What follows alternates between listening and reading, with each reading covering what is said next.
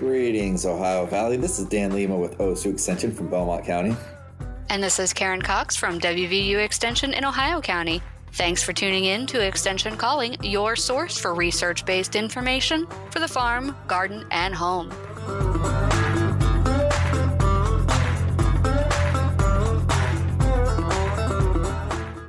All right, how you doing, Karen? Oh, you know, a little stressed. Um, got family down Fort Myers area. Yeah. They're okay. They don't have power, but they're not underwater. They're not near the beach area. Well, and honestly, the rain amounts they were predicting down there, uh, and both 20 plus inches of rain, you know, not to mention, like, what is it called when uh, the ocean kind of comes in on top of that and creates all that flooding? Yeah, storm surge is dangerous. It's just devastating. They said, what, it's like the worst storm they've seen in 100 years in mainland Florida. Unfortunately, the the weather equipment broke. so they're not exactly sure how bad it got. I think the depth gauge broke at seven feet and they were expecting a 12 foot surge, which is really big. For those of you who aren't familiar with hurricanes and what they normally do, a 12 foot storm surge is outrageous. I mean, I don't think you have to be there to understand that a 12 foot increase in water it's not is going to be very damaging catastrophe. Yeah, I saw some pictures and it just it's amazing how much damage occurred. And it occurred all across the state. I mean, hurricanes will spawn tornadoes. So on the outer rings of the hurricane, you also have tornado damage. So you have flooding, tornadoes, and the hurricane, which had some seriously high wind speeds. Oh yeah, they. I think they said some numbers like 150 miles an hour, which is outrageous. Yeah, and even through the night, they were sustained over 30 miles an hour. So, yeah. well, it's you see the pictures coming back, and just entire cities underwater. Oh yeah, roofs ripped off and bridges moved. Uh, it's it's going to take a lot to get to get back from that.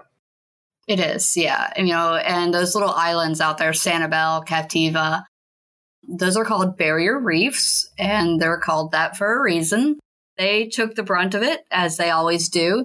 And the last one that hit that area was Hurricane Charley, which was back in, I want to say, 89. Yeah, and it's hit the East Coast all the way up the coast. Yeah, and we'll probably get some rain from it here, too. Oh, yeah. We'll get rain but I don't think we'll. Yeah, we won't get a storm surge, but we might get some flooding yeah. associated with this hurricane. It wouldn't. It wouldn't be fair to compare. Yeah, but um, we did do a program on flood preparation, what two, three weeks ago. So if you wanted to check back and look through the podcast and find that to help you get your property and your farm prepared for any upcoming rain or flood events, I encourage you to do that. Today, we wanted to talk a little bit more about what comes after the storm. So, if you have experienced flooding, what are some of the things you need to be aware of? How do you recover? What are the first steps? So, of course, the first step is to let your family know you're okay. we always appreciate that. Thankfully, my family is all good. They are safe, even though they don't have power and have no idea when they'll have power again. But yeah, along with checking checking in with your family, check in with your neighbors too. Go over there and see if they're okay. Yeah, definitely. The second thing to do is to reach out to FEMA. They are going to be the ones coordinating assistance in the area. I mean, if you're in danger, obviously call 911 and let them know where you are and what your danger is. But then once you're ready to start, like you know, getting beyond the life threatening stages, then call FEMA and find out what's going on in the area. And just don't pick up any lines that are down. Don't try to move anything because you don't know what's under something, what's uh, what might slip and come down and fall. Everything's going to be very, um, what do I want to say? Unsta- unstable. Unstable. Yeah. Yeah, and, and for just, sure. Just be extra aware, you know, check in with your family, check in on your neighbors, obviously call 911 if there's an emergency. But also recognize they may not be able to get to you. Know, when they do call for evacuations, it is for a reason. And I know having lived in Florida, that maybe you don't always pay attention to that. And there's multiple reasons people don't evacuate. Um, some of them are financial, a lot of them are about pets, or maybe that's just hard for them to move. They have special equipment they need, or whatever. So there's a lot of reasons, and I understand that. But recognize that emergency responders may not be able to get to you, or at least not for a little while. So do your best to protect yourself, protect your family, and protect your livestock too. Right. In a storm like that, it doesn't, you know, normally we think of first responders and emergency response as something very localized. You know, an event happens and it can respond to it. When it's something like this, it's everywhere. And I just don't see how they could possibly respond to everybody as fast as they normally would because everybody's going to need help and I think everything's going to be stretched so thin, it's going to be tough. And you have to be patient. But also, on top of that, make sure you're communicating everything to 911 so they can prioritize calls and make sure that they do the best they can with the time they have. And be patient with them. You know, they are under a lot of stress too. Your emergency responders are doing everything they can, and they lost some equipment and such too. You know, I saw pictures in Naples where fire trucks were underwater. I guess saw that. So they can't really respond right away. And they're probably going to ask for a lot of information. So the more they have, the better they can respond. So yeah, be patient, as Karen said, and give them as much information as you can. And so, another thing you can do is not cause undue emergencies. So, if you are outside, um, stay out of the water if you can, especially if you see downed power lines. Um, electricity travels very well through water.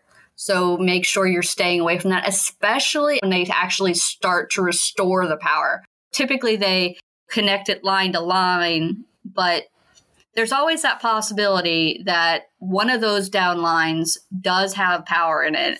So never touch a down line. Make sure you're reporting them to the power company. Now, I don't want everyone to call the power company right after a storm, but you know, if you live further down a lane and might have a little bit of extra information other than all the lines are down, that can be helpful to power companies in restoring power or if you suspect a live wire. Yeah, or if you suspect a live wire for sure. Also, keep in mind the number one injury following any type of flood event is foot injury. So people stepping on things that they couldn't see under the water. Never walk around barefoot. Flip flops are not your friends. Get yourself a good sturdy pair of boots, rubber boots. If you've got galoshes you can put over your boots, that's even better. as high as they can go. Make sure you're wearing long pants, long sleeves, gloves, because that's some dirty water you're walking through. And there's some sharp objects that you might be that might be floating in there. You don't want to get cut in a situation like that. Yeah, and there's sewage floating in there. There's random bits of metal that are probably rusty. So there's a tetanus danger. Make sure you're up on your tetanus shot. Oh yeah. There's fuels fuels, yeah, pesticides. Oh, yeah. So you have to be careful. If you don't have clean water to wash things in, that's going to make it a little bit more dangerous. So if you have a wound, use the clean bottled water that you have to clean that out. But also recognize that maybe a little while before you get more clean water. So be sparing with it. Maybe take a couple days before you start cleaning stuff up just to make sure that you have access to clean water and medical equipment to clean any cuts and wounds that may occur during the cleanup. Yeah, just just keep your eye on it. You know, it, just realize also that it's a dirty environment. You might want to take a little extra precaution, but obviously look for signs of swelling later. Like if it stays really hot, it might be infected. And wear shoes, wear boots if you have them, wear pants. Um, don't be out in shorts um, long sleeve. Make sure you're wearing gloves when you're moving stuff. Right. Yeah. And so some of the things that you may want to pay attention to are your flooring, carpet and padding is done. It's not going to be able to dry out while it is on the floor. So you're going to want to remove that as quickly as possible. Wood floors may be salvageable. Like if you have one that curves and pops out, just pull that plank off, let it dry. It may flatten out, but it's much easier to replace one plank than the whole floor. Um, so do your best to get some fans. If you have power or generator, start trying to get some air moving through the area before mold can set in. You really want to do your best to prevent mold from starting. If you have serious flooding, the sheetrock or drywall inside, it acts like a sponge as well as any insulation in your walls. So you're going to want to cut it at least three feet above the water line and remove any insulation because, like I said, it acts like a sponge. It just sucks it straight up. Yeah, that's right. And not only goes for flooding, but even if you have a leaky window that's kind of going behind the walls, remove all the moldy insulation that's in there. You might have to add new wood in there just for support. When you're when you're in there, you'll be able to see, you know, what's salvageable, what's not. Yeah. And when you're looking at getting things dried quickly, even something as simple as removing the molding along the floor can help the walls and the floor dry a little faster because it opens up that air vent to allow air to get down behind and under. Again, we're trying to prevent mold, but you're still going to want to clean stuff so, because, you know, we mentioned that the waters were contaminated with who knows what. Um, so, hopefully, you have some bleach on hand, that it was in your emergency kit. If you don't have bleach at your house now, and you may be in a flood condition potentially, make sure you go get some and just keep it in your emergency kit. It does expire, so you have to rotate it out occasionally. It's not like it goes bad, it just gets less potent. So if you have old bleach, maybe use a little bit more, but it's really hard to tell exactly how strong it is unless you have some indicator strips like we use for food safety to tell you how much bleach is in the water. But to clean the area, you're going to want to mix one quarter cup of bleach to a gallon of water to prevent mold. So you're going to wipe anything that got wet and clean that stuff up. For toys and such like that, one cup of bleach to five gallons of water, wash them off and let them air dry. Stuffed animals and things like that, those are going to be really tough because you can't really clean them very well.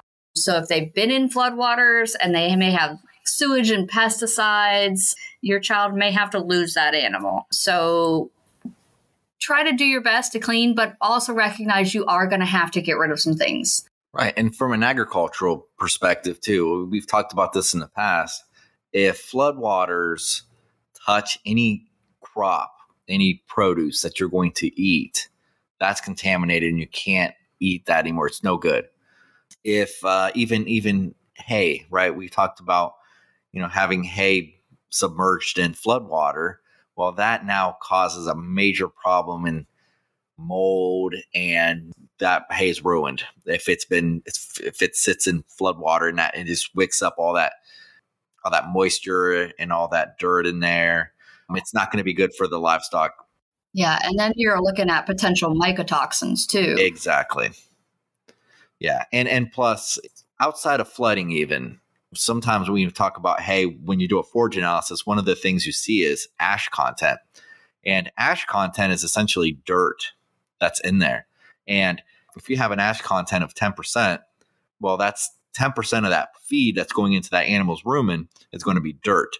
And dirt in the rumen is not very good. So just imagine like how much ash and how much dirt gets collected when you have that floodwater in there. And it's just unhealthy for the animal. It's potentially toxic hay. You just don't want to just stay away from it. It's not anything that you want to keep feeding to your animals um, you're not going to get ahead by utilizing that. Right. And you also want to consider that hay does act like a sponge, just like your insulation. And it's going to pull the moisture up from the soil and all the way up through the stack. So even if it was protected from rain from above, if it flooded, that whole stack is probably unfortunately not unusable. So you can take off the top bales and see if they're dry, but if they're wet, you can worry about mycotoxin development and also fire potential because wet hay it will start to decompose and build up heat and could potentially be a fire hazard. So you want to get the hay out of the barn and spread it out so that it is not going to cause the barn to burn. Yeah, that's right. When hay dries, it becomes stable and all those microbes basically become inert and you don't have energy. When it's wet again, it just reactivates everything. They're going to start breaking down nutrients, they're going to create heat, and heat leads to fires. So, another major problem when you're talking about floodwaters touching agricultural products like hay. But again, if any kind of floodwaters touch produce, it's just so dirty that it becomes inedible. Please stay away from it. Yeah, and also make sure if you did lose crops or hay that you're reaching out to your local FSA office to see what type of emergency uh, recompense is available. And also, if you have seed, like let's say you have seed grain that you were going to put out, that is probably not going to be able to be salvaged unless you're planting it like right now even if you dry seed out, it probably isn't going to stop it from germinating since it has had that opportunity to absorb that water or imbibe the water and expand and it wants to germinate now. So that seed again is probably a loss unless you can get it plant it out quickly. But planting wet seed, especially with a mechanical planter, is going to be a nightmare. Yeah, but let's let's kind of get away from the, the farm aspect of flood damage, and even you know in the cities and just people that have trees. Like this was one thing that you always talked about in the past. When with winds and rain, typically you have down trees, you have broken branches, right? Keep your eye out for that kind of thing and make sure that you're being safe as far as removing branches. Mm-hmm. If you're trying to cut down any trees that might be potential danger, if you're not experienced enough to remove a tree that looks like it might fall on your house, call call a professional because things become very unstable in that kind of environment where trunks are split and branches are broken. Look up and, and just be aware. Right. And that's a really great point because after a storm is when all of the amateur chainsaw users come out. And we get a lot of injuries from those as well. So make sure you have proper equipment, including leg chaps or ripstop pants, because you don't need to create a new uh, emergency. Like I said, a lot of the injuries follow the storm. So 911's already busy, don't make them busier. Make sure you have your safety goggles, your hard hat, your ear protection, your leg protection, oh, yeah. your gloves, good solid boots. And also, if you don't know how to use a chainsaw, let someone else do it. It's it's really easy to send yourself to the hospital. Not the best time to learn how to use a chainsaw. No, no. So, one of the things you see after storm damage is branches that are only partially attached. And those branches have a lot of tension on them created by the wood that's used to being in another position. So if you go to cut it, it could snap up in your face very quickly. So you don't want to try to cut tension wood straight down. You can shave it a little from underneath to try to lessen the tension and release some of that stored energy so that it doesn't crack into you. But again, if you aren't experienced in cutting these types of limbs, it's not recommended to try to do so right after an emergency. Yeah. Well, Karen, even if it's not broken, even if you just have a limb there, but like obviously limbs don't stick straight out, you know, there's there's tension at the attachment point. So if you're cutting any kind of limb, it'll jump. Yeah. It'll fly different directions and That's why it's so important to make sure you're wearing goggles, even if it's even if you're not getting hit with like a large limb. You're, you're like, oh, I'm cutting these, you know, I'm, I'm cutting these small branches, but guess what? A little twig in your eye can do a lot of damage. So just be aware. Sawdust in your eye can do a lot of damage. You know, eyes are super sensitive. Yeah, but limbs can fly whether whether they're broken or not. Like I've seen them fly just because there's always that tension.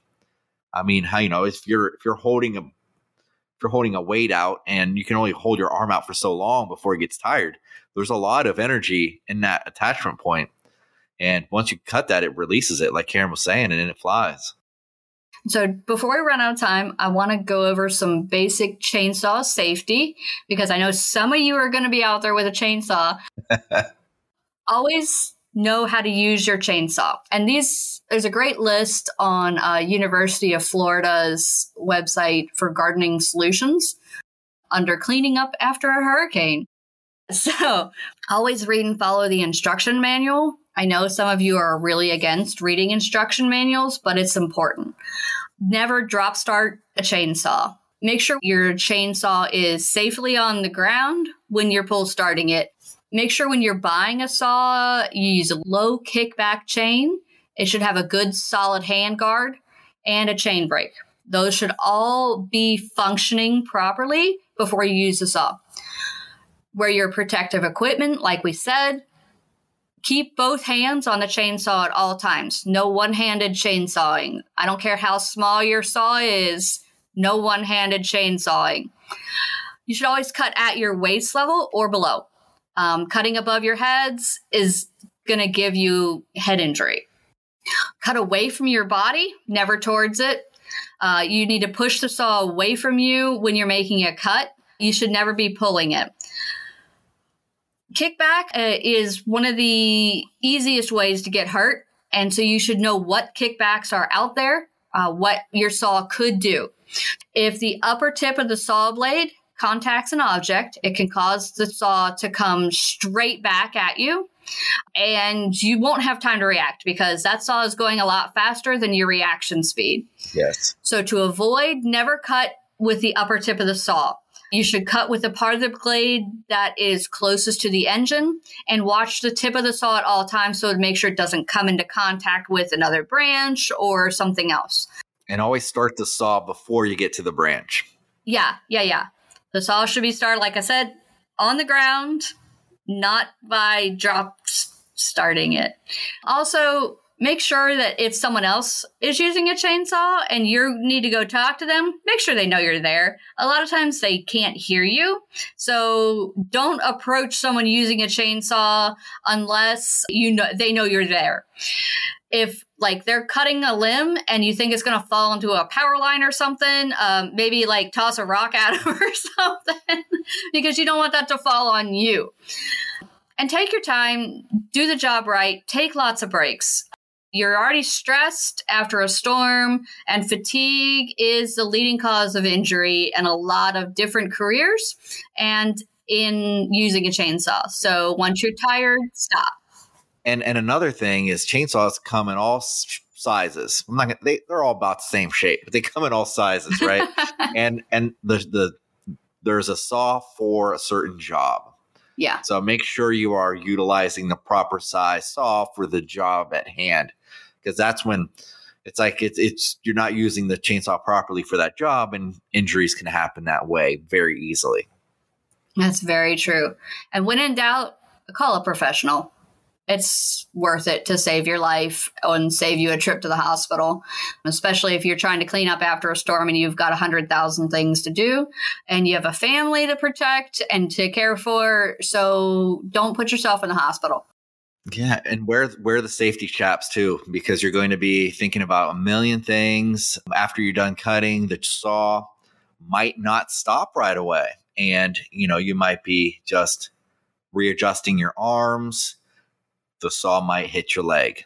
Just wear those safety chaps. Wear all the safety equipment that is appropriate for that job.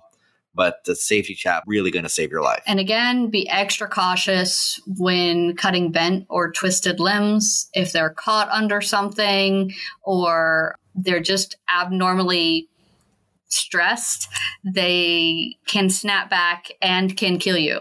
So do be careful with that. So we covered dirty floodwaters, chainsaw safety, checking in on your neighbors, checking in on your family, stay away from down wires. Just understand that you're in a dirty environment when it floods. And there's there's lots of dangers there that you normally don't think about. So be extra aware when you are outside and make sure that you are not wearing open shoes, shorts. Um, you know, that's the time to wear the boots, pants, long sleeves, gloves. Just make sure you're being extra cautious because when emergency management's tapped out, it becomes even a bigger risk. Yeah, definitely. And stay hydrated. And so take care of yourself. I hope that you never have to use this information, but we wanted to provide it just in case. And if you have or any questions, reach out to your local extension office, um, work with your emergency management system, and stay safe. Thanks for listening to Extension Calling. This show is a collaboration between OSU Belmont County Extension Educator Dan Lima and WVU Ohio County Extension Agent Karen Cox. If you'd like a transcript of this show, contact us at the office. Also, let us know if you enjoy the show by ranking us on your podcast app.